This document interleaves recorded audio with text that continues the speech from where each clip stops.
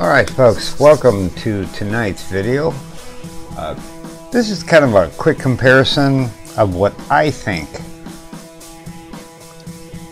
is something you ought to think about before you look at some of these budget slash mid-range phones and buy one for basically we're looking at getting one for a college student or for yourself maybe you just need a smartphone you had an old cheap one like me for years. Doesn't matter.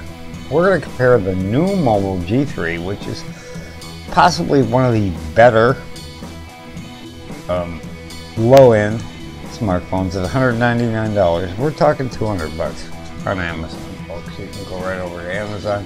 You can get one right here and have it at home. It works on GSM, which means T-Mobile and AT&T. Uh, you're looking at a 5.7 inch HD plus display. You're not going to get the best resolution off this. 1440 by, uh, I believe it's, uh, oh, let's check it. It's 1440 by 720. But let's not look at pixels. Let's look at how they look. And most of the reviewers say that this is a stunning display. It just looks good. It doesn't matter how many pixels it has. Who the hell cares? As long as it works. Uh, so, we're just going to kind of stick to the specs on the G3 to start. It's got a Helio uh, P25, which is a MediaTek processor at 2.39 gig. It's an octa-core, 64 gig of RAM, which will leave you about 51, 52 gig free after the install. 4 gig of RAM. Android 7.1.1. That's a downtick. That's not a good thing. But it has fast charge. It has NFC has a dual SIM that you can shove a, uh, you can take one of the SIMs out and put a micro SD card in there and expand it up to 128 more gig. Pretty good stuff. Uh, if you read their website, it's not entirely correct. Uh, this particular model does have uh, Wi-Fi, BGN, and AC, as does the Asus which we're going to get to next. It has a 3000 milliamp battery, less than the Asus, so Asus is already winning here. So let's go over and check out the Asus specs. Okay, first thing that jumps off the screen, oops, right here, $385. 386 technically. Uh, 10 more bucks, you could have got two phones and gave them to your college student. So when you break the first one, put your SIM card in the second one. Yeah. Kind of a good thing. Very good. Um, you will get some advantages. Both have the same RAM, 4 gigabytes.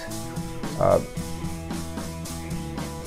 Obviously the Asus is a little more bleeding edge with Android 8.1. But trust me, based on my previous experience with Asus, you're I had an Asus Z580CA tablet.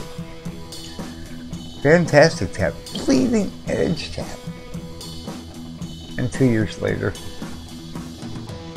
no updates.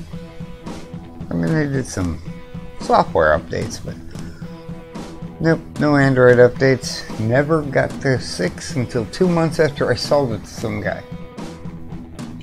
That kind of made me angry.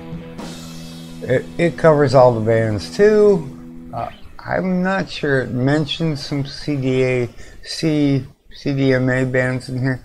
You may be able to use it with Verizon. I would check that. It does have a bigger screen, 6.2 inch and the display is a little, quite a bit better. It's a 1080 display. So I'm not saying it's better visually. Numbers on paper, once again. Uh, it does have a fingerprint sensor, as does the Nuu Mobile G3. So, so far, you know, we got kind of a tie. Uh, you get, you do get the Snapdragon 636 at 1.8 gigahertz. And you get a slightly larger battery, I believe it's 3300 milliamp hours. And the Snapdragon is pretty good at, you know, the Qualcomms are really good at saving on power. But, you're paying twice as much. Twice. Minus 10 bucks. Okay, so 1.9 times as much. And one of these phones your kids are going to look at and go, oh my god, it looks just like a Galaxy S9.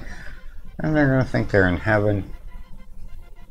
And since they're going to sit on Instagram and Snapchat and, you know, all the other crap, they're not going to notice the difference. And unless you're buying a phone to become a photographer, on paper, the rear and front cameras on the mobile G3 are actually better. They are uh, um, 13 megapixels. The secondary camera though on the back isn't as good, although it supposedly does pretty good bokeh effect. Uh, there are a ton of reviews on both of these. As usual, this video is going to end up on tabletserver.com and it's going to be combined with a second video from a guy I trust, Chris over at techtablets.com, who just did a hands-on and unboxing. And there are a few things you get with the the Asus. Uh, both come with a TPU case. The Asus comes with a set of headphones and a headphone jack guess what?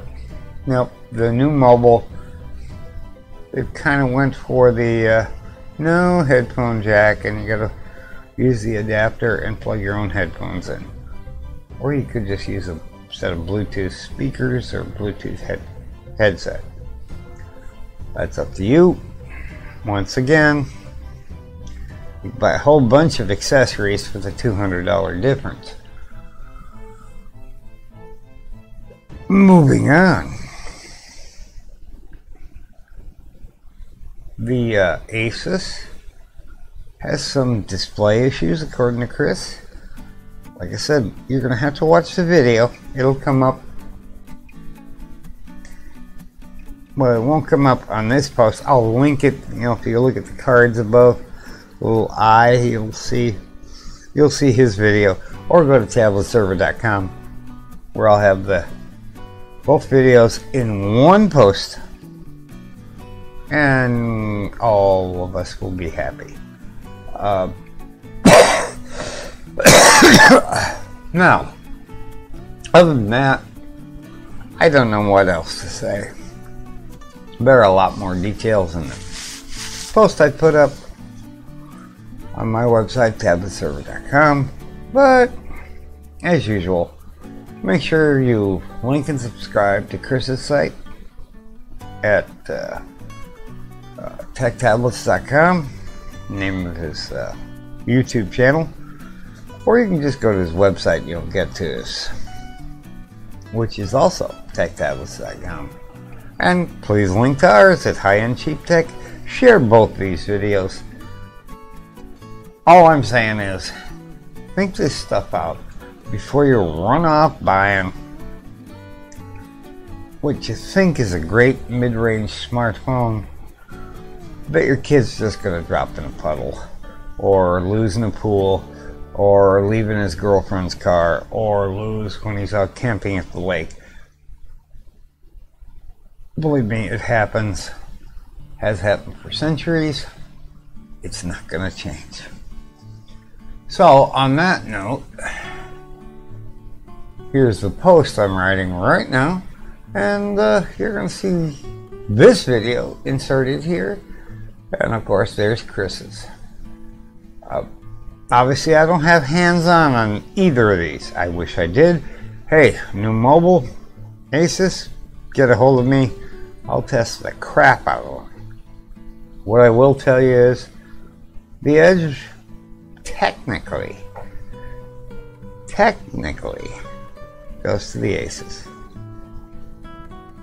But the common sense Edge and the useful day-to-day -day use, unless you're a photographer and concerned about bokeh effect, and you're dumb enough to hold your camera in portrait mode all the time to take all your pictures, kind of like most iPhone users do. Sorry, iPhone users, if that was insulting, but yeah, yeah. That's why we make 35 millimeter cameras that you hold sideways. Never mind. Alright, so we're going to leave it at that. Uh, you can get the uh, G3 at Amazon. I'll leave the link. And you can get the uh, Asus in the black version right now for 385 You're going to pay even more for the silver one. You can find that when you get there. They're both going to be linked on the tabletserver.com post. Just go there, read it, and you can watch both videos right there. That's all I got for tonight. I really, really, personally, if somebody said, here's a thousand dollars, what are you going to buy? I'd buy the Nuu Mobile G3. And I'd pocket the rest of the money and go take a vacation to Haiti. Or, well, Haiti's probably not a good place. Jamaica. Somewhere warm, even though it's warm here. Alright, we're going to leave it at that. We're done. As usual, I'll just say thanks for watching. And we're going to cut it off right there before I run my mouth anymore and waste more megabytes.